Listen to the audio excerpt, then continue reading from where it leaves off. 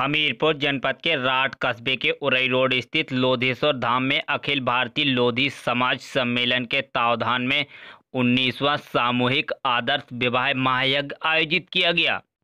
लोधी समाज कल्याण समिति अतरौलिया द्वारा आयोजित इस समारोह में 48 जोड़ों के विवाह संस्कार संपन्न कराए गए।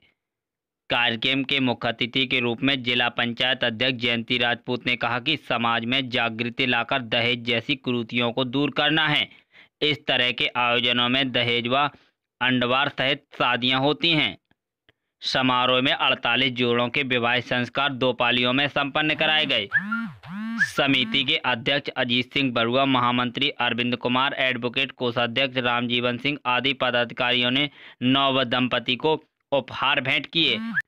पूर्व मंत्री चौधरी राजेंद्र सिंह लोधी, पूर्व मंत्री चौधरी धूराम लोधी, पूर्व विधायक डॉक्टर अम्बेश कुमारी, जिला पंचायत अध्यक्ष प्रतिनिधि संतराम राजपूत, प्रीतम सिंह किसान प्रमोद मदन मोहन राजपूत, डॉक्टर दिग्पाल सिंह राजपूत, डॉक्टर रामेश्वर प्रसाद, शंकर सिंह दादा, धनीराम बापूजी, रामजीवन सिंह आदि ने नौ आशीर्वाद दिया।